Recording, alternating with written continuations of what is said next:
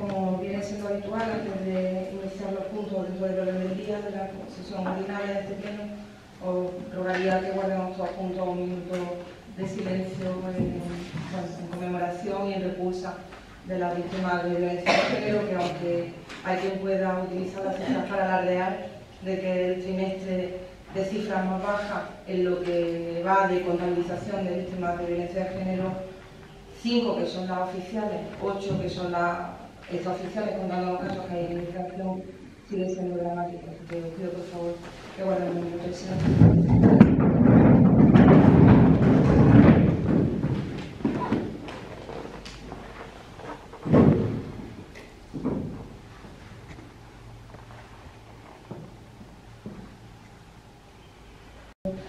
con la citación y la convocatoria que tiene, en el orden del día, el primer punto es la aprobación de la acta anterior, que es la de 8 de febrero de 2018. ¿Algo que aportar o apuntar al acta? ¿Perdón? Sí.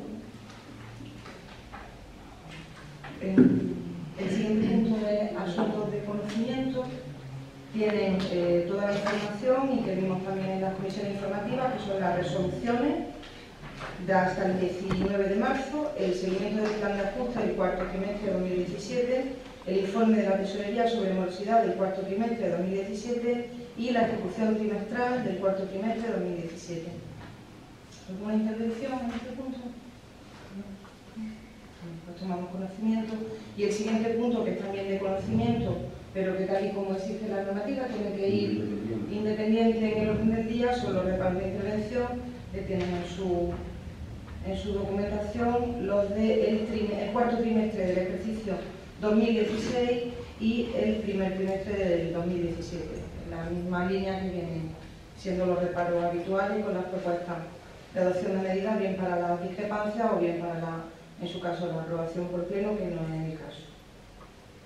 Eh, sí, a mí me gustaría que se explicaran los reparos porque vemos que siempre aparecen los mismos reparos y por lo menos que se explicara qué se está haciendo para solucionar estos reparos, porque aquí hay reparos súper, yo, la falta de certificación del área de personal, de las variaciones de nómina, Es que, me parece un tema... claro, es que como no la hay, pues el personal no la certifica, una cuestión a veces de entendimiento entre los propios técnicos. Es decir, cuando hay una variación de nómina, es lógico una certificación de la variación de nóminas, cuando no, el informe personal es un informe, no una certificación. A veces que se, eh, si el secretario corrige en algo de lo que estoy diciendo, ese reparo en cuestión es que no tiene más incidencia. Que, que la intervención exige para seguir el, proce- el procedimiento que haya un certificado del jefe personal que diga las nóminas son idénticas a las del mes pasado. ¿Y eso potencial? Hace un informe. Entonces quiere decir que los reparos, mm, yo veo que hay aquí reparos como muy variados, ¿no? Sí. Entonces, yo lo que sí me gustaría saber es qué se hace para que estos reparos no se vuelvan a repetir una y otra vez. Mira, el procedimiento de los reparos que ya en algunas ocasiones lo hemos informado. Eh, verás que debajo tiene el párrafo que viene propuesta. ¿vale? Cuando se siguen las propuestas, el reparo se retira. La ley permite la discrepancia. Eh, con causas legales, en algunos discrepamos. ¿Por qué? Porque, por ejemplo, eh, en los reparos que hay, las ayudas de emergencia social, porque entienda que no es una competencia propia, nosotros aún así lo vamos a seguir asumiendo, porque es un acuerdo que tenemos porque entendemos que desde una óptica de una política de izquierda es lo que tenemos que hacer. Entonces, como la ley nos permite discrepar, pues nosotros con base legal discrepamos. En lo que no, pues por ejemplo, eh, cuando te dice gestión de, son en este o en el, en el otro, eh, eh, con procedimientos de contratación pues se están iniciando. Ahora con la nueva ley de contrato del Estado, por ejemplo, pues tenemos muy paralizado el tema de adquisición, por ejemplo, simple de material, porque la nueva ley te obliga a tener un procedimiento determinado para la contratación. Pues se están preparando todos los expedientes desde la Secretaría y Intervención conjuntamente para hacerlo en base a cómo dice la intervención que hay que hacerlo. Es decir, cuando son de reparos de legalidad, se siguen las instrucciones de intervención, cuando cabe la discrepancia, se discrepa en ocasiones en las que la ley te dice el reparo lo tiene que levantar el Pleno y en ese caso pues lo traeríamos al pleno. Si no estuviésemos de acuerdo con el reparo que pone la intervención, que no siempre así, que muchas veces lo que se hace es seguir el procedimiento, muchas veces el reparo a lo mejor es porque falta un visto bueno en la factura, porque la intervención requiere eh, que en todo el procedimiento, desde el concejal, el encargado, el que recibe el material, tenga los vistos buenos y a veces es verdad que se pasa un visto bueno, pues eso es normalmente objeto de un reparo, no tiene más importancia que son las firmas se recoge posteriormente y ya está, pero va a reparar. ¿Entiendes? No quiere, no quiere decir que no se firma, sino que el reparo está porque en el momento en que ella fiscaliza el gasto, no ve el visto bueno, porque hay seis vistos buenos necesarios, a lo mejor hay cinco, falta uno, y esa va con un reparo, luego se corrige y ya está. No, no, no hay Muy bien. Pasamos entonces al siguiente punto, que es la compatibilidad de don Francisco Rodríguez Jiménez. El letrado municipal él solicita, porque tiene base legal para hacerlo, eh, que sea el pleno el que le incluya o le acepte y adopte la compatibilidad de su trabajo fuera de esta administración y fuera del pleno municipal. Está el informe eh, del secretario al respecto de que es absolutamente legal y que puede ser reconocido por parte de este pleno y es lo que se trae aquí. Bien, pues este sí es de, votación. ¿Voto a favor? El siguiente punto es la, vaya a disculpar que Javier está, está enfermo y no ha podido venir al pleno. No los concejales hospitalizados. Eh, eh, voy a explicar yo los puntos, aunque ya los vimos sobradamente en las comisiones informativas. Bien, el primero de los puntos de materia urbanística es la resolución del convenio urbanístico con de San Vicente. Esto, como pueden ver en el informe jurídico que se apunta, que relata todo el procedimiento que hubo desde que fue suscrito en 2014, en 2004 perdón, este convenio con el ayuntamiento por el que la mercantil eh, eh, transmitía al ayuntamiento de fincas para uso dotacional. Eh, argumentan también que como condiciones para la y validez de ese convenio se pactaron por una parte la aprobación definitiva del convenio por el Pleno Municipal y por otra la aprobación definitiva de la modificación puntual del Plan General. Eh, no se ha dado cumplimiento a ese precepto y es porque el plan del corredor del litoral impedía el desarrollo de, de ese proyecto en su día, por tanto ellos, y tal como la ley recoge, proponen la resolución amistosa de este convenio por parte del ayuntamiento y esto es lo que se trae aquí, que viene informado tanto por el área de urbanismo como por eh, los servicios jurídicos de urbanismo. ¿Alguna intervención? Mm, yo es que mm, después de leerme todo esto no me ha quedado exactamente muy claro. A mí no me ha, no, me ha quedado exactamente muy claro cuál es, quizá a lo mejor por la torpeza que tengo yo a la hora de leer tipos de documentos, eh, ¿qué tipo de compensación es la que solicitan Que no lo tengo claro. Cuando se firma un convenio urbanístico, normalmente el ayuntamiento recibe suelo a cambio de... Sí, sí, sí, sí eso más o menos lo entiendo. Claro, entonces... Pero ahora ellos, evidentemente, como no se ha eh, resuelto el tema, no creo que sea por cuestiones del ayuntamiento, sino por circunstancias sobre la vida, ¿no? Porque ha sido por circunstancias la vida y tal eh, hay que compensarlo, ¿no? ¿Y en qué consiste la compensación? Eso es lo que no acabo de entender. Porque se llega a una 70.000 euros más. Pero eso después de una negociación, no. no. Que ellos solicitan eso y ahora tenéis que entrar en negociación con eso. Pues, eso es lo que estipula la ley. Eso es lo que estipula la ley.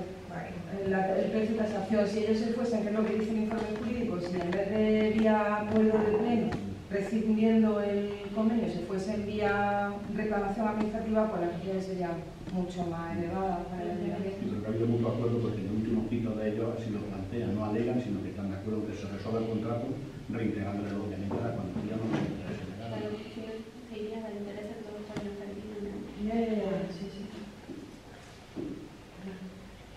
Bien. eh, pues voto, ¿algún No, que el Partido Popular vota a favor porque favorece el público que tiene los cortes sería mucho más mal. ¿Voto a favor de la resolución del convenio? El siguiente punto es la propuesta de anulación de las facturas de CEPA. Eh, hay la propuesta por la que eh, se eh, presentó escrito ante esta administración reclamando el pago de facturas por servicios prestados en junio, julio y agosto de 2016 por un importe de 135.565,22 euros, servicios no incluidos en el contrato mixto de los servicios de recogida y transporte de residuos sólidos y limpieza viaria de 26 de junio de 2013. Y respecto a los que por razones de urgencia y necesidad no se realizaron los correspondientes expedientes de contratación porque se entendían incluidos en dicho contrato. Tras la emisión del oportuno informe, la Junta de Gobierno el 28 de marzo de 2017 acordó iniciar expediente de, declaración de nulidad de las contrataciones verbales, concediendo audiencia a la reclamante, adoptando propuesta de resolución para su elevación al Consejo Consultivo de Andalucía para que emitiese dictamen preceptivo que ha sido emitido con fecha 23 de noviembre de 2017 en el que se considera que la competencia para iniciar y adoptar la propuesta de resolución correspondiente es al Pleno como órgano que tiene atribuida también la competencia de la contratación.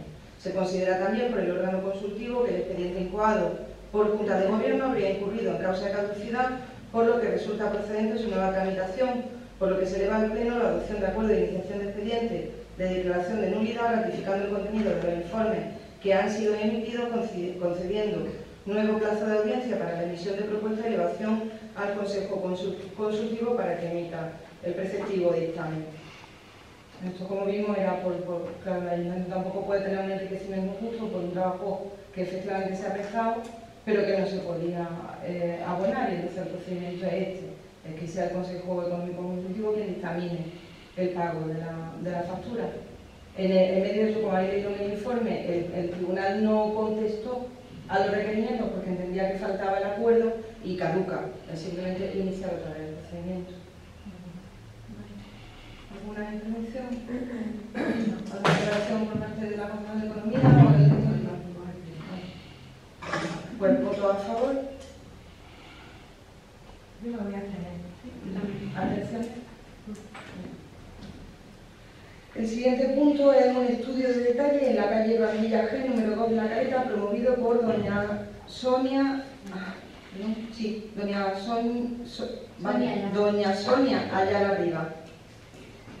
Tienen también los informes técnicos oportunos, donde solicita esta vecina la tramitación de un estudio de detalle para ordenar volúmenes y alineaciones en la calle Camilla G, número 2 de la caleta, con todos los antecedentes, marco legal y consideraciones. Las conclusiones son que la solicitud de estudio de detalle para la ordenación de volúmenes y alineaciones en la calle Camilla G2 de la caleta y documentación modificada y complementaria tiene cabida de lo, de lo establecido en el marco legal, en el reglamentario y en el urbanístico al que el presente, el presente informe hace referencia, que puede procederse a la aprobación inicial del estudio de detalle y previo a la aprobación definitiva del estudio de detalle se deberá subsanar la escritura de propiedad de la parcela que en su día vendió el ayuntamiento y se deberá llevar a cabo la agregación de las dos parcelas que afectan a su ámbito conforme el propio estudio de detalle termina en el punto 3.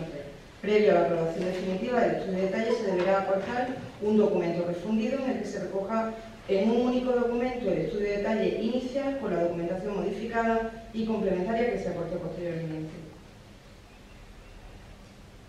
¿Alguna intervención? Yo. Cuestión más de trámite. Bien, pues voto a favor del estudio de detalle. Pasamos al siguiente punto. Es también un estudio de detalle para el edificio hotelero de apartamentos turísticos en Avenida del Mediterráneo número 17, promovido por Costa Tropical Holiday SL. Igualmente, se aportan todos los informes oportunos, solicitan tramitación de estudio de detalle para ampliar la altura máxima de edificación, edificar parcialmente una planta más por encima de la altura máxima permitida, establecer la distancia mínima de retranqueo de las construcciones por encima de la, altura máxima permitida a la línea de fachada y transformar la tipología de parcela de manzana cerrada a edificación con ordenación detallada.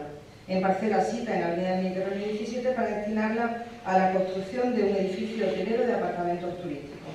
Igualmente, todas las consideraciones y las conclusiones de que la solicitud tiene cabida que no debe establecido en el marco legal, reglamentario y urbanístico y, por tanto, una vez estudiado los necesarios preceptos hecha la pertinente consideración y tomadas como condiciones las anteriores conclusiones, bajo un punto de vista técnico, sin, según mi leal saber entender, dice el técnico, no existe inconveniente urbanístico para proceder a la tramitación y conceder la aprobación inicial al estudio de detalle.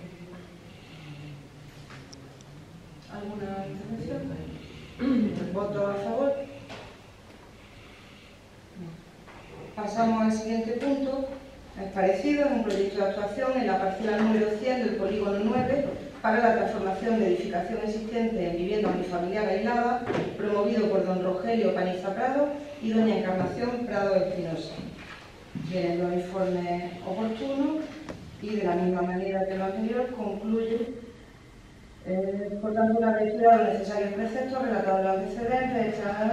No existe inconveniente urbanístico para admitir a trámite y aprobar posteriormente el proyecto de actuación para transformación de edificación existente fuera de ordenación en vivienda unifamiliar aislada vinculada a explotación agrícola en suelo no urbanizable. En la parcela 100 del polígono de Rústica 9, del Pago de la Caiba, referencia catastral de Saloreña. Dice, no, no debiendo quedar suspendida la tramitación del expediente de disciplina urbanística contra una Encarnación Prado Espinosa por instalación de coche cubierto de 30 metros y sí debe quedar dicha tramitación desvinculada de la tramitación del proyecto de actuación que ahora se informa, continuándose con la de tramitación.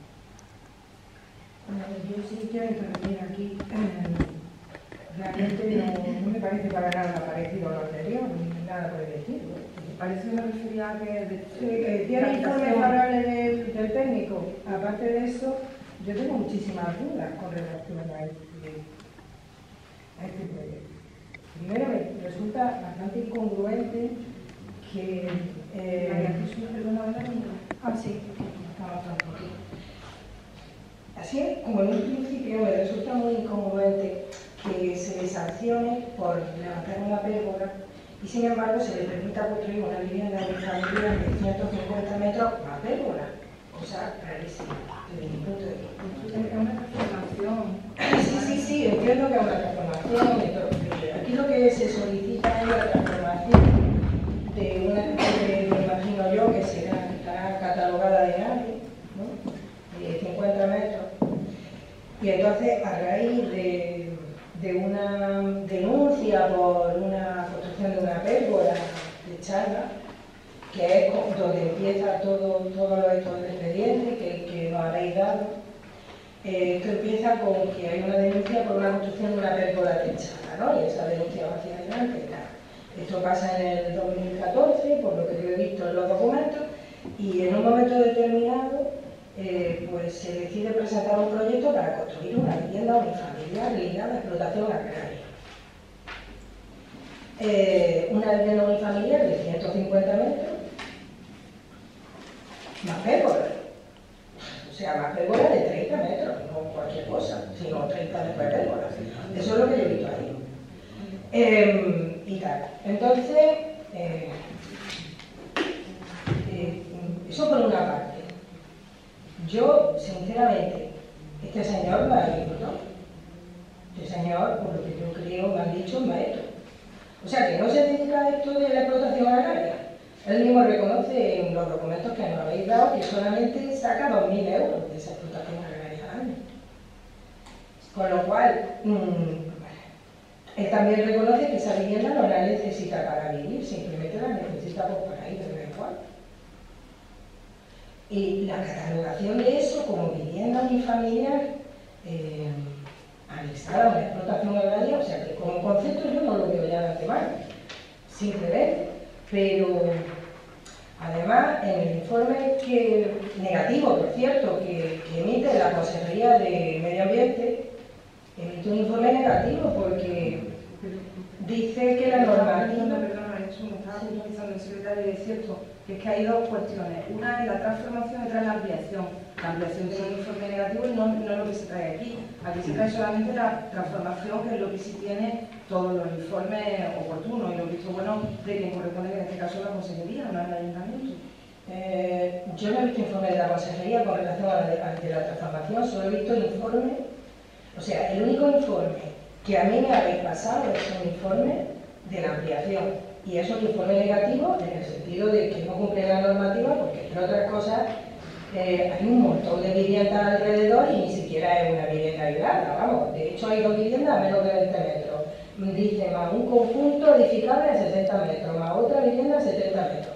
Eso con relación a la ampliación. Con relación a la transformación, que es lo que viene después, en vista de que se echa para atrás la ampliación, eh, realmente la transformación no deja de ser una ampliación, es lo que me resulta curioso.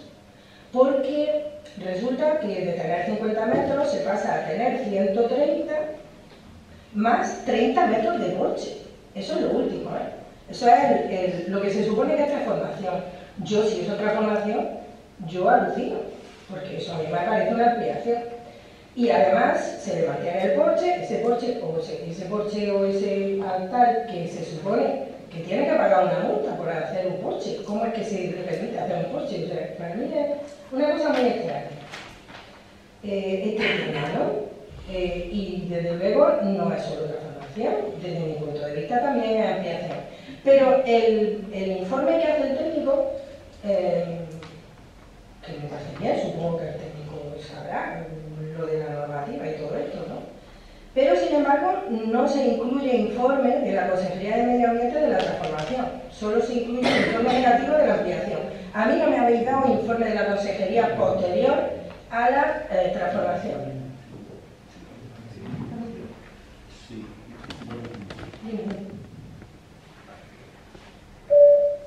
El expediente, una ley inicial que arrancado de su firma de tramitación a los fines y es un requisito del informe de la Junta de Andalucía. De la Junta de Andalucía, cuando hace referencia a este expediente, evidentemente informa desfavorable la ampliación. Sí, pero, pero sobre la transformación de la vivienda existente en una vivienda unifamiliar aislada, solamente manifiesta que el pleno municipal sea que su resolución debe de comprobar si se va a producir formación de núcleo. Ayuntamiento haga sus propias comprobaciones y que valore la justificación de necesidad de ese cambio. Con relación, a, la, perdona, con relación a la transformación. A la transformación. vale, si es solamente transformación. Son transformación. Vale, ¿qué diferencia hay entonces entre una ampliación y una transformación? Porque si de hecho pasamos de 50 metros a 127 ampliados, para mí eso es ampliación, eso es lo que yo entiendo. Si además se le incluye un porche, pues eso es ampliación. Solicita únicamente la promoción del uso de la edificación ya existente de 127,59. Más porche. Más 39 de porche. Ah, o sea que ya, ya tiene construido eso. Sí. Ah, Pero que no, no es de 50 a 100, es, ah, pues yo, es que yo pensé que al inicio, al inicio de esta historia ponía que tenía 50 metros. Y lo dice el propio informe técnico, dice, la Junta de Andalucía se ha manifestado en contra de la ampliación. Para lo cual, si el día de la... Entonces no, no es eh, requisito indispensable que haya un informe de la transformación. Sí, de la Junta. No, de la ampliación sí hay uno, pero digo de la transformación. No, es que es el, es el mismo niega la ampliación, no niega la transformación. No, es que ese documento es anterior a la transformación. Ese documento tiene fecha anterior.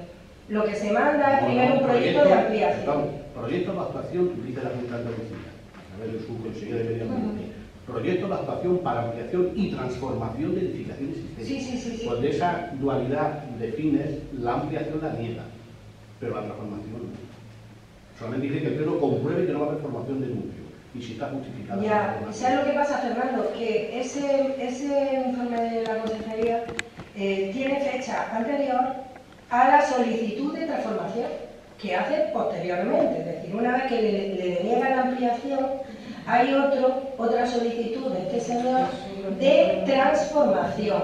Y entonces, esa solicitud de transformación es un procedimiento nuevo, un procedimiento administrativo nuevo, que además tiene que llevar, entiendo yo, aparejado otro informe nuevo, porque hay otro, otro procedimiento nuevo. Una vez que él mete, mete una... Lo que tiene, evidentemente, yo no lo niego, por supuesto, es el visto bueno del técnico. ¿Comprendes? Eso sí, tiene el del técnico. Lo que yo entiendo que hacer, hacer un procedimiento nuevo, porque él transforma el proyecto, que en principio ha dado, debe de llevar aparejado también una valoración de la Consejería de Medio Ambiente. Yo lo entiendo así. No lo sé, no sé. Porque además, mm, sí, que, resulta un poco extraño que el ayuntamiento, fíjate el informe del técnico, dice que mantiene la multa por el porche, pero se tienen muchas dudas con relación a esto. Y no sé, cómo, cómo justificarlo también, un poco de cara, no sé cómo decirte, de cara a los agravios comparativos que pueda haber. Porque da la sensación, y por lo que eh, realmente se, ve entre la gente, no sé, la gente del campo y tal, que hay muchos agravios comparativos con relación al cortijo, si el cortijo se puede hacer más grande, si se puede hacer más pequeño. Sí, sí, hay, la gente tiene en realidad una gran preocupación con relación a eso en este pueblo, ¿no? Porque a todo el mundo pues, tiene, o muchísima gente tiene su pequeña eh, trozo de tierra y a todo el mundo le gustaría hacerse una mega cortijo y todo eso, ¿no? Que nosotros somos un cortijeros. Entonces, eh, este tipo de actuaciones o las llevamos exquisitamente o luego dan lugar a mucha, mucha reticencia por parte de la gente. De hecho, fíjate María Eugenia, que cuando yo estaba viendo esto, me acordé de aquella reunión que tuvimos con el, no sé si tú te acuerdas, con María José Alonso, que vino también en tu despacho y estaba el arquitecto municipal. Y, me resulta curioso porque eh, allí le planteamos, planteamos la necesidad de, que tiene la gente de hacer el tema de, eh, una especie de construcción para guardar los fitosanitarios. ¿no? Y también me resultó muy curioso, porque es que además lo, he copiado textualmente lo que él dijo, porque lo copié textualmente. Dijo, no se puede poner un ladrillo en el campo, porque le da a la gente 20 metros y se hace un chale. Lo dijo él. En tu despacho, ¿eh? Delante de José. Así que ladrillo ni uno. El que quiera guardar fitosanitarios que se ponga un contenedor y si no, que se lo lleva a su casa. Eso dijo textualmente. Entonces, a mí me resulta sorprendente que haya gente que no puede hacerse, que me parecería lo más lógico, un sitio donde guardar los fitosanitarios, que un poco, un poco fue lo que planteamos allí, ¿no? Esa necesidad de por lo menos tener algo donde guardar. Y luego, pues, que, pues, que, que, luego se permitan este tipo de... que me parece fenomenal, ¿no? Entre otras cosas, porque además este señor, pues lo que, lo que pasa, si, permitimos ampliaciones o si permitimos este tipo de cosas, pues lógicamente la tierra de triunfo se revalorizará. Lógicamente que lleva pareja la cosa, pero un poco porque se le diera la posibilidad a todo el mundo también, ¿no? Pero hay gente que no puede hacer ni para guardar un sitio sanitario y todo este tipo de cosas. Yo sinceramente esto no, no lo voy a votar. Más que nada porque me parece una gran comparativa para con otro tipo de personas. lo que está claro es que hay que se escapan del ámbito municipal, que es la aplicación de, una legislación y, me apunta el secretario que dice contundentemente el informe no existen aspectos documentales que impidan la aprobación del proyecto de actuación ante eso el pleno que tampoco tiene mucha capacidad ya, ya, ya, de, literalmente sobre esto, ¿no? Porque es que además ya te digo que hay un gran malestar en la calle por el tema de los cortes pues la gente compara, compara lo que tiene, compara lo que no le dejan hacer, compara con lo que le han dejado hacer al otro, compara con lo que tiene. Y es posible que eso sea el resultado de, un desconocimiento de la normativa y un desconocimiento de todo. Lo cierto es que ese malestar existe y hay veces pues, que determinadas cuestiones son eh, chocantes para la gente. Es verdad que no tiene la misma, el mismo tratamiento una actuación, por ejemplo, en la Vega que una actuación en Matagallares, ¿no? O en la Cota 100, porque claro. son con distinta clasificación urbanística. Bien, pues, ¿alguna intervención más? Pasamos entonces a votación del proyecto de actuación en la parcela 100. ¿Votos a favor? ¿En contra? ¿Abstenciones? Bien. El siguiente punto del orden del día es ratificación del acuerdo de la Junta Local de Gobierno de fecha 15 de febrero de 2018 para la adhesión del Ayuntamiento al proyecto europeo Empowering mediante la firma del Pacto de Alcalde. Luego va a explicar el concejal de Medio Ambiente.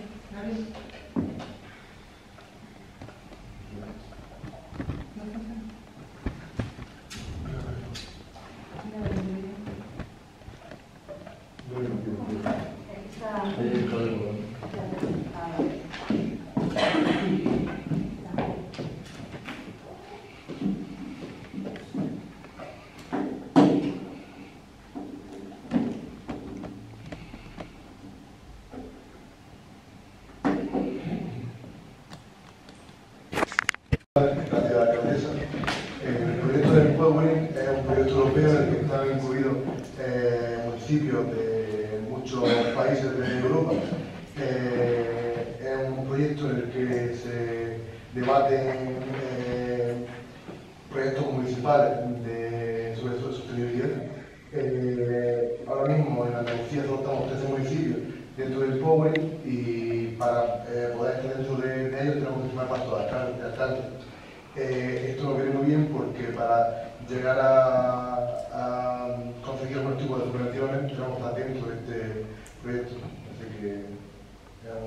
Buena oportunidad. Eh, eh, no es que hayamos ido a por ella a nosotros, gracias a que llevamos años trabajando con el tema de sostenibilidad y, y somos de los pocos pueblos de, de Andalucía. Muchas gracias. ¿Alguna intervención?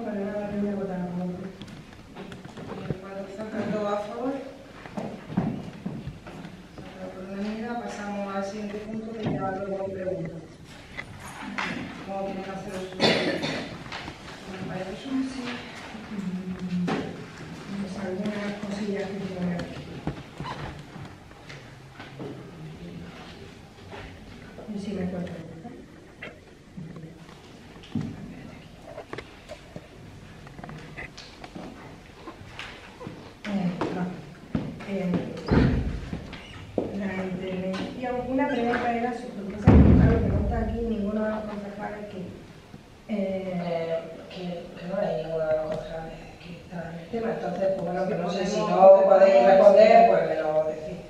Eh, se trata de hacer una pregunta sobre la intervención que se ha llevado a cabo en el trozo de muralla que hay en la calle Bóveda, en el que va, que va desde eh, en, la parte, digamos, izquierda de la calle, ese problema de muralla que hay desde la bóveda a la primera casa que hay, ¿no? Ahí se ha hecho una intervención en ese trozo de muralla consistente en la construcción de un seto mm, con planta y todo. Eh, mm, que yo me pregunto, bueno, una intervención en una muralla histórica, mm, supongo yo que llevará, es que yo no lo sé, eso lleva aparejado un proyecto, eso es lo que pregunto. Eh, hay proyectos de esa intervención, cultura autorizada esa actuación. O se ha tenido en cuenta, por ejemplo, la incidencia que puede tener la muralla, el grado de humedad que se le da al seto. Eso me gustaría, y me gustaría mm, hacer referencia a que la existencia de la muralla, que, vamos, que la, muralla se vea siempre y no solamente eso, sino que a raíz de, pues, de la construcción de de la, el adoquinado de la calle Bóveda, pues bueno, pues, pues, se descubrió que la muralla no solamente llega a la casa, la primera casa, sino que tira por mitad de la calle y recorre toda la calle Bóveda hasta, hasta el presenta.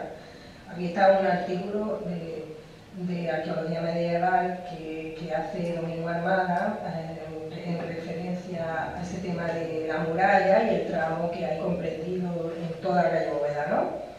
Eh, también me gustaría que, se tuviera en cuenta que en domingo ya, en el 2015, cuando se hace este tipo de actuación, eh, en el 2005, perdón, que fue cuando se hizo, eh, dijo que, que, se iba a elaborar una carta de prevención de riesgo arqueológico. Lo digo porque viene muy a cuento de, este de esta intervención, que para mí a mi modo de ver, supone un riesgo arqueológico serio para la muralla, aunque yo, sinceramente, tampoco soy técnico. Por eso me, me gustaría saber si esa intervención de la muralla ha tenido algún informe técnico sobre que se soporte.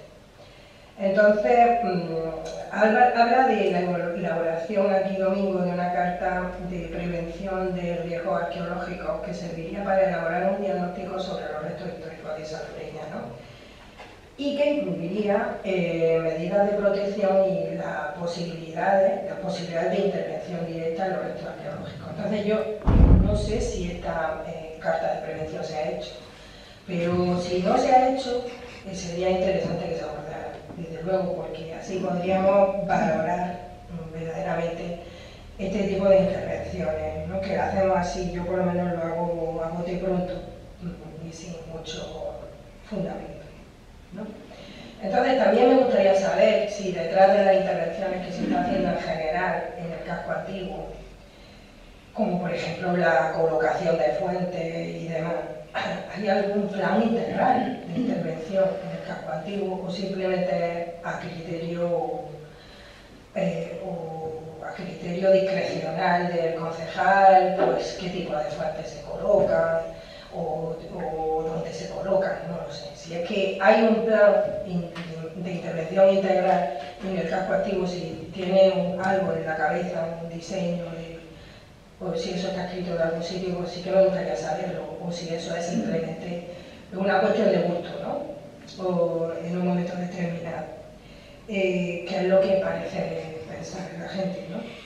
Eh, eso, mm, esa pregunta quería hacer, eh, o esa serie de preguntas, que ya te digo que... Y luego, por otra parte, también me gustaría, María Eugenia, ya aprovechando que tú sí que puedes dar este tipo de explicaciones, yo estoy un poco sorprendida del problema de la policía local. Entonces, yo leo, em, o sea, he leído desde el principio eh, sus demandas, eh, que a simple vista parecen bastante razonables, ¿no? Lo digo, recalco lo de a simple vista, porque claro, yo tampoco he estado bien en el, tema. Eh, también he leído tu contestación y luego he leído la, la contestación de ellos, de esta división que parece haber dentro del cuerpo de policía local de Salobreña, que eh, parece ser que un 80% de la policía local afiliado a un determinado sindicato no se ponen de acuerdo con el 20% restante afiliado a otro sindicato.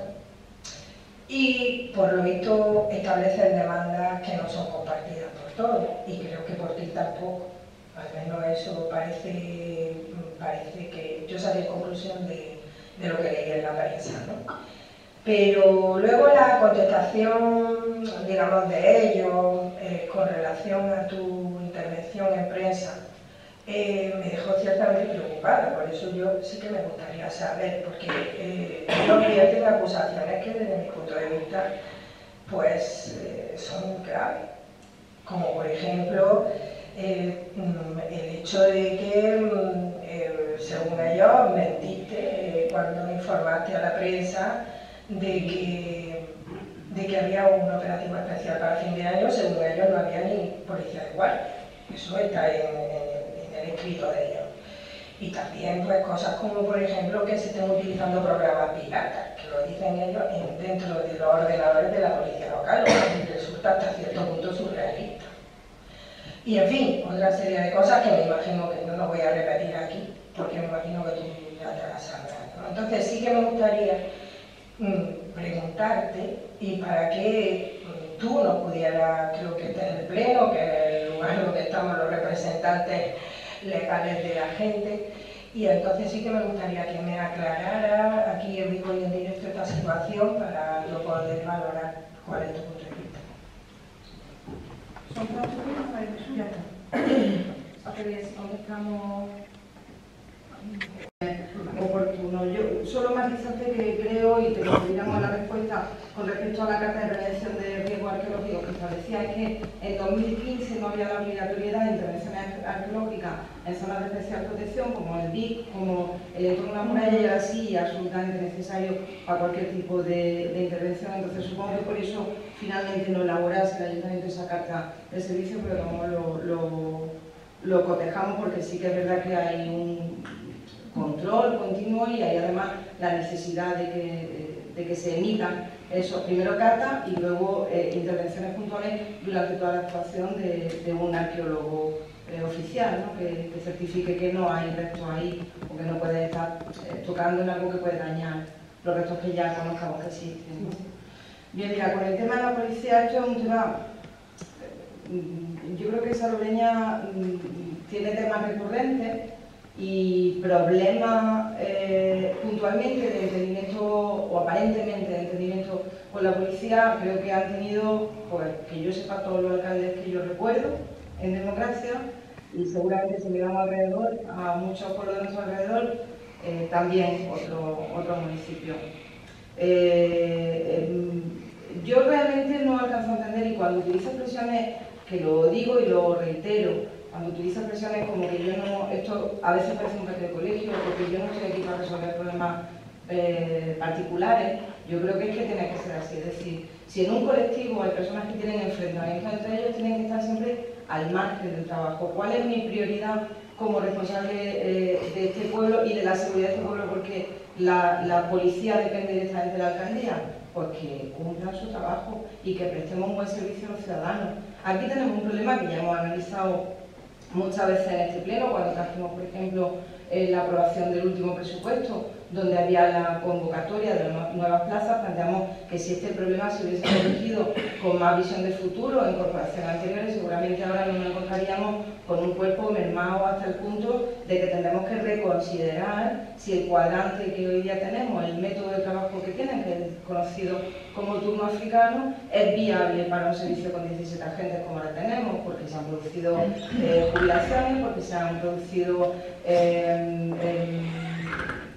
como se dice, comisiones de servicio, ¿no?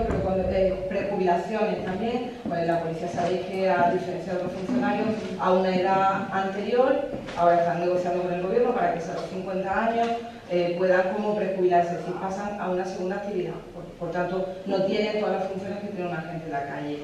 Yo, mm, la gente que me conoce sabe que soy una persona de muchísimo diálogo y ese diálogo nunca se ha roto por mi parte, pero si a mí un grupo de agentes no un grupo de gente, un representante de la policía local me pide tener una reunión para tratar temas de policía. Desde la alcaldía se le llama en, eh, dos ocasiones para confirmar qué asuntos quieren tratar y no dice un orden del día, no dice unos puntos terminados, sino que dice temas relacionados con la policía, lo normal es que en esa reunión de la policía más se dice que voy a venir con 15 agentes, que es prácticamente, pues, como ellos dicen, el 80 por ciento de la plantilla. Cuando yo entro a esa reunión y viene el jefe de la policía conmigo, algunos, no todos, algunos miembros de ese colectivo que había solicitado la reunión se levantan de la reunión y me dicen la reunión alcaldesa la irá solo con usted, no con el jefe de la policía. Yo explico esto mismo que estoy explicando sin tener ningún inconveniente a sentarme con uno, con dos, con quince, pero eh, sabiendo previamente, porque es que entre las cosas si lo que nos va a tratar son temas de policía, es que el jefe de la policía en la carimán en un cuerpo jerarquizado como es la policía tiene que estar ahí. Eh, aquella reunión terminó en cinco minutos y luego pues, hubo ese comunicado de prensa. Yo creo que detrás de esto hay más temas, es una excusa eh, la cuestión del material, porque ellos saben sobradamente, primero que por ejemplo en cuanto a ropa, cuando nosotros llegamos en 2015 no solamente se compró ropa a todos los agentes, sino que la partida se ha llegado a duplicar en su cuantía, lo tenemos nosotros en los presupuestos, hemos llegado a 10.000 euros de dotación eh, de ropa, se han colocado cámaras de seguridad, hemos comprado walkies para tener comunicaciones, saben que tenemos el procedimiento abierto para la adquisición de vehículos, que es uno de los prioritarios que tiene el negociado de contratación, es decir, que con el material yo soy la primera que, mm, para que una persona eh, preste bien un servicio hay que dotarle de medios, en ese sentido creo que no tienen problema. ¿Cuáles son los problemas que no, a lo mejor no abocan a esto? A lo mejor de entendimiento, pues no lo sé. Yo sí marco directrices, claro que sí. Si tengo un, servicio con tres agentes nada más y uno está de vacaciones, el segundo, por este famoso turno africano de trabajo que tiene, el segundo pide eh, una licencia para hacer un curso y un tercero llega y pide otra licencia para hacer un curso, pues no voy a llamar a la corporación y nos vamos a poner todo un uniforme para hacer eh, vigilancia en las calles y prestar el servicio. No podemos dejar un servicio sin policía. Entonces, creo que eh, desde que soy alcaldesa y por primera vez en la historia, el único asunto propio que se ha delegado a un policía ha sido este que estoy contando y fue hace tres sábados, creo. En cuanto a, a la prestación del servicio, ellos saben, a la noche vieja que se refiere, es que precisamente pasó esto que estoy diciendo, que teniendo un turno preparado, hubo agentes que, pues, de buena primera llaman, oye, enfermo, y no se había previsto, como ahora sí tenemos, un sistema de gente que está, pues, digamos, como a disposición de la administración, cobrando lógicamente para hacer esos servicios extraordinarios. Muchísimos ayuntamientos no tienen protocolo, de hecho este ayuntamiento no lo tiene, pero yo no, de hecho yo soy la primera que estoy diciendo que sería necesario tener un protocolo y así todo el mundo sabe que atenerse con esas directrices que yo marco sin protocolo, nunca lo ha habido aquí y no ha habido ningún problema. Ahora qué pasa que como faltan agentes, necesariamente hay que prestar ese servicio y hay que tener un refuerzo. ¿Cómo se organiza ese refuerzo? Lo tiene que decir la administración, claro que sí. Es que lo que no puede hacer es que una gente diga, yo me cojo vacaciones en verano, pero luego me apunto a los refuerzos, entonces me voy 15, 20 días de vacaciones, un mes de vacaciones, pero luego voy a un servicio de 3, 4 días y cobro casi lo mismo que en un mes. Lógicamente tiene que haber normas para eso. Una gente que, sí, porque el, hacer el servicio extraordinario es absolutamente voluntario, obviamente, aunque incluso por decreto podríamos en un momento determinado obligar a la gente a que preste el servicio porque sin servicio no podemos estar. Pero una vez te apunta a ese método de, digamos, como a esa bolsa de, de servicio, no es optativo es voluntario que lo haga una vez te apunta, porque si no, ¿cómo organizar el trabajo? ¿Cómo organizar un plan de verano? ¿Cómo organizar una Semana Santa? ¿Cómo hemos organizado esta? Entonces, eh, muchos agentes también han solicitado sus vacaciones en base a lo que luego pueda venir. Lo que luego pueda venir es lo que ya sabemos que hay. Hay efectivos que hay que cubrir, hay épocas del año que hay que cubrir y a veces puntualmente hay eventos porque nos surgen, no sé, imaginaros que de pronto el ayuntamiento decide que quiere participar en la vuelta ciclista y dentro de tres semanas pasa la vuelta por aquí y necesita cinco agentes en la calle, por poner un ejemplo. Pues tenés que tirar de ese servicio Normalmente está regulado aunque no esté escrito, está regulado porque no es la primera vez que se hace y nunca ha habido problema. Em, sí que es verdad que, en el escrito, eh, posteriormente al día siguiente, a esa reunión en la que salieron con un comunicado de prensa, no tengo eh, que lo veáis, hicieron un escrito diciendo los asuntos que ellos querían haber tratado en esa reunión pero no se pudo celebrar. Esos asuntos son los que yo estoy contando, entre ellos una catalogación propia específica para la policía. Yo siempre he dicho, y, además lo digo aquí y donde haga falta, no me hace falta que me graben eh, en privado ninguna gente me encienda su móvil para grabarme, como ocurrió la última vez que me senté con uno de ellos, porque lo digo lo mismo aquí donde haga falta. Yo creo que la negociación colectiva tiene un seno, que es donde se tratan los temas y no se tratan con independencia que sean trabajadores diferentes, porque es un cuerpo especial. Por eso la negociación colectiva, si el marco de la negociación colectiva tiene que ser eso, colectiva, donde tienen, tienen que participar todos los sindicatos y todos los representantes de los trabajadores y en igualdad de condiciones plantear una catalogación hoy por hoy, sabiendo como sabemos que el capítulo 1 es prácticamente intocable, pues a lo mejor no es el momento más aceptado. En cualquier caso, no se han roto negociaciones, no hemos tenido ningún conflicto, no hemos tenido ningún problema, solo que quizás detrás pues eh, eso la intención de enredar y buscar un conflicto donde no hay, donde no lo hay. De hecho, eh, tuvimos una junta de personal dos o tres días después con uno de los miembros de los sindicatos, ese sí es realmente un representante sindical de la policía, entre a mi despacho, me pidió hablar, me dijo, ¿podemos mantener esta reunión? Y dije, sí, en cuanto volvamos de Semana Santa nos sentamos, no ningún problema. Y al día siguiente se fueron otra vez a la prensa. Pero bueno, cada uno es libre de hacerlo. ¿Verdad que también ha habido, bueno, con eso que dice, yo tuve conocimiento de ese supuesto programa pirata cuando lo leí en el comunicado que ellos hicieron, automáticamente hice lo que tenía que hacer, llamar al responsable informático del ayuntamiento, preguntarle si tenía conocimiento de eso, llamar al responsable de, oficina en la policía, preguntar si tenía conocimiento de eso y dar la orden de que volcando toda la información que había en los ordenadores, porque allí lo que tenemos pues, son informes, son parte de trabajo con la Guardia Civil y demás, que no se pueden perder, volcando toda la información, si había algo ilegal o pirata, evidentemente se desinstalase se trata de un programa, de un programa de un gestor de texto, pues la policía debe saber que tiene un programa que en su día ya se instaló y costó bastante dinero, que se llama GESPOL. Y es un programa integral que permite hacer desde un informe que se les pida aquí hasta un eh, volante para empadronamiento, hasta un atestado para la Guardia Civil. Permite todo, gestión de multas, todo. Ese programa hay agentes que se niegan a utilizarlo, cuando en 2016 recibieron todo un curso de formación para aprender a utilizarlo. Es más cómodo tener un gestor de texto. De esto, sabéis que es como las aplicaciones de los móviles. Cuando tú te, bajas de internet un programa, tienes la versión gratis y la versión pro. La versión pro que te dan a lo mejor cuando pasa aquí tiempo o cuando tú la quieres coger sin publicidad. Esa versión pro parece ser que ha sido manipulada por alguien. Alguien que desde luego mm, eh, eh, desconozco y no tengo pruebas para decir, pero que no estamos hablando de pirata en el sentido de, no sé si me estoy explicando es decir, que simplemente es un gestor de texto, como tienes Word o tienes cualquier otro, para hacer los informes. En cualquier caso, desde el momento que tuve conocimiento, se ha desinstalado y el único programa que tiene autorización para utilizar es el como no puede ser de otra manera. Precisamente parece ser que alguien de los que denuncia quien instaló el programa, con lo cual no, no le veo sentido, pero bueno. Eh, este problema, que es un problema desde mi punto de vista serio, ¿qué, es lo que voy a hacer con él? De aquí en adelante, quiero decir. ¿Ha pensado volver a reunirte aquí? Sí, sí, sí, sin problema. Sin problema. Y, y, ya te digo que lo que, lo que plantean es lo mismo que hemos hablado mil veces en la Junta de Personales. Que haya o no haya un protocolo, de verdad que no es un problema para la prestación de, de los servicios extraordinarios. Para otra cosa sí puede ser. Es decir, para jugar con mi tiempo a la hora de decir, bueno, pues junto unas vacaciones con un fin de semana largo, pero al final me, me apunto a la hora, quizás sí. Eh, creo que ellos donde más incidencia hacían era en el tema del reparto de la hora extraordinaria. Yo puedo demostrar aquí y donde haga falta que el año pasado todos los agentes cobraron la misma cantidad.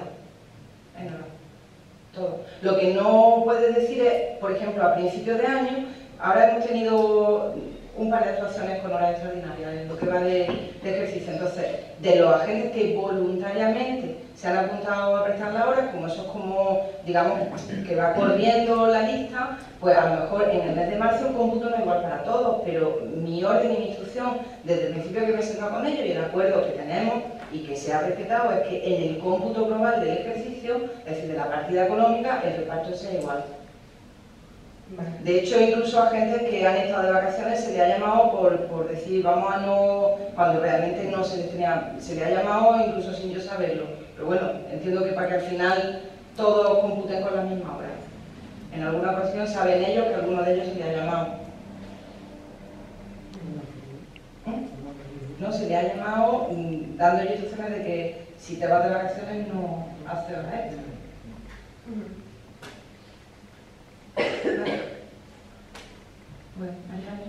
La policía era una de las preguntas, pero eh, mi pregunta o ruego son casi todas para variar con el tema de los, los solares abandonados, que, que todo el requerimiento está desde que entramos en 2015 se ve casi todo o la mayor parte igual para ver si de cara al verano se puede dar una mejora a eso. El estado de los contenedores, hay muchos aún que están rotos, a ver si de la reposición, la arqueta, si se va a llevar algún plan de actuación, porque por ejemplo, el otro día yo estaba aquí sacando dinero a la Caja Rural, agua y servicio, le levantó y eran cientos y cientos de cucarachas los que salían, si de cada verano se va a hacer un plan de actuación de saneamiento de la arqueta y, y cuando empieza ya empieza la calor, empieza y demás, si los domingos va a haber recogida de basura o vamos a tener problemas de los la mañana levantarnos porque la gente pues no está concienciada a que los domingos no se saca la basura y nos vemos con los problemas de olor los lunes por la mañana.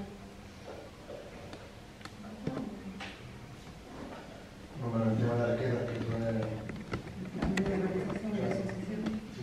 eh, los zonales pues, están en trámite, hay muchos que han hecho. Esto es muchas veces la voluntad de los vecinos para agilizarlo, cuando no, pues es un trámite muy borroso que se puede tardar en muchos meses se, sigue existiendo, pero esto a veces es complicado aportarlo. El estado contenedores se van reponiendo, eso todos los meses se van arreglando, ahora hay un poquito ahí están rotos. Si hay algunos, no lo dicen, pero que serán, serán uno o dos, pero que si no se arregla esta semana será la siguiente, esto ya no... Y lo de de la basura, esto hasta que no eh, entre en, vigor el nuevo contrato que se lleva a cabo, no podemos ampliar el contrato que mismo vigente.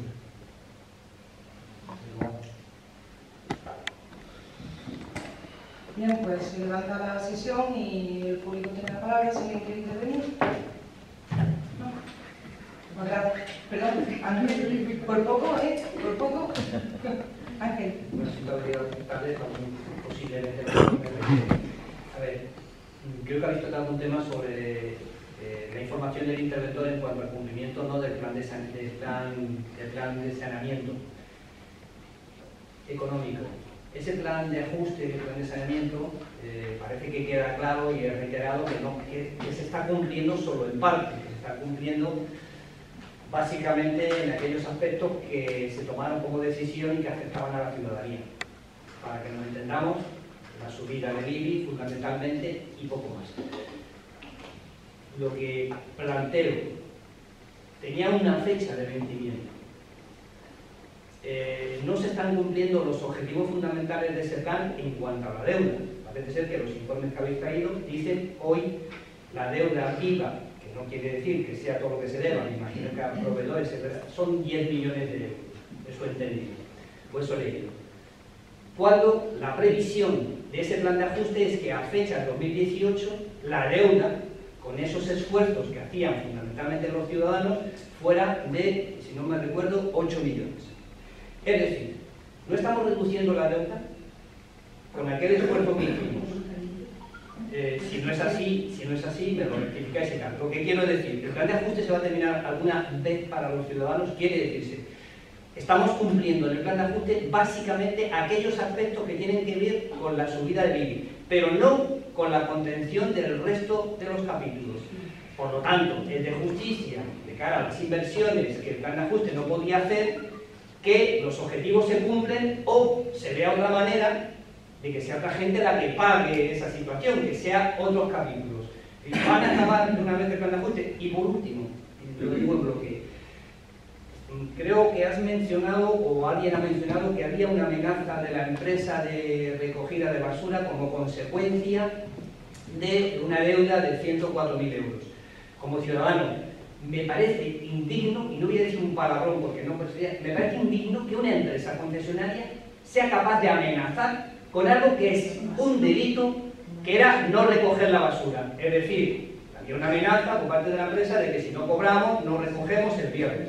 Si eso es cierto, me gustaría que lo ratificarais, porque si es cierto, es un desliz enorme por parte de una empresa concesionaria que no puede hacer eso con unos ciudadanos y con una institución.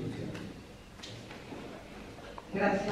Mira, con respecto a lo del ajuste, porque además yo creo que es eh, bastante farragoso y sin documentos es difícil que acabemos dándote una explicación, te invito a que vengas cuando quieras, te enseñamos los informes, te enseñamos el grado de cumplimiento, te enseñamos en qué medida hay obligatoriedad o no del seguimiento del plan de ajuste, cuando los últimos informes que trajimos, no este pleno, pleno sino el anterior, decían claramente que se cumplían sobradamente los objetivos y, con respecto a lo de la amenaza es que me quedo perpleja, que no lo sé, mm, queriendo, queriendo buscarle un hilo conductor a eso que tú traes aquí, puede que se trate de que, eh, como en el pliego el viernes no había servicio de recogida y no había limpieza diaria el jueves, el concejal de Medio Ambiente y yo estuvimos toda la semana negociando y viendo con la intervención municipal cómo podríamos hacer que esto que está fuera del contrato se pudiera prestar. Con la nueva ley de contrato del Estado que ha entrado en vigor el 7 de marzo, la cosa, si ya la tenemos complicada, se complica todavía más, porque tú no puedes encargar esos servicios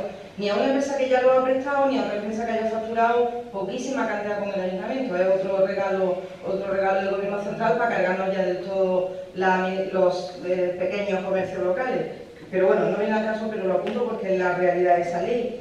Y finalmente llegamos a un acuerdo con la empresa de una cantidad de dinero, de un precio muy razonable, por el, tanto la limpieza viaria como la recogida, pero finalmente la empresa nos llamó y nos dijo, mira, como es una cosa que no es nada y tenéis tantos problemas con la intervención, darle forma además, porque ahora estamos, como que dice, aprendiendo, no, que es cierto, ¿no, Fernando? Aprendiendo todos, incluidos eh, los técnicos.